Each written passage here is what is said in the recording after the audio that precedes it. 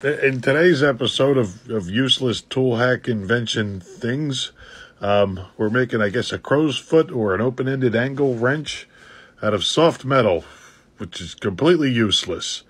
I swear these videos are like if you gave a six year old access to a shop and just said, have at it, kid. I mean, the only good thing about these videos is, is that we don't have to pretend they're good like if a kid did it. There you go.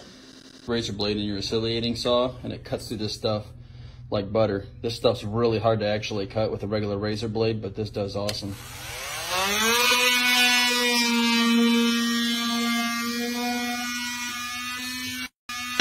Now I'm going to spray some WD-50 on it and we're going to see what that What? No way.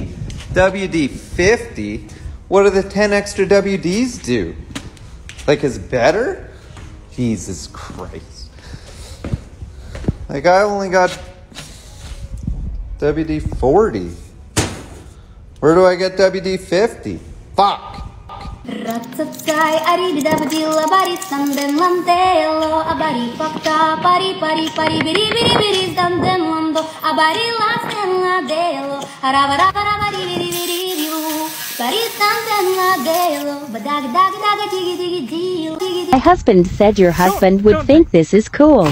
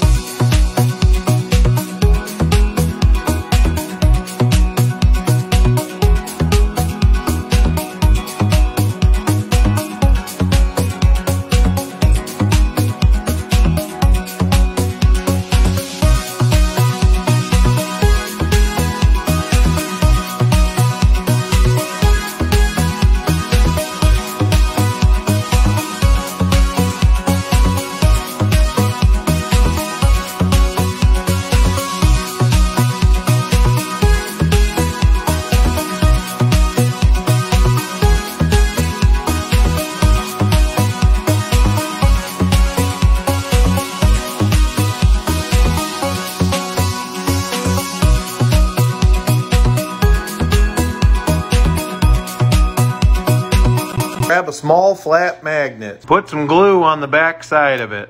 Stick it to the side of your drill. Let the glue dry. Now it holds your bits perfectly when you're switching back and forth.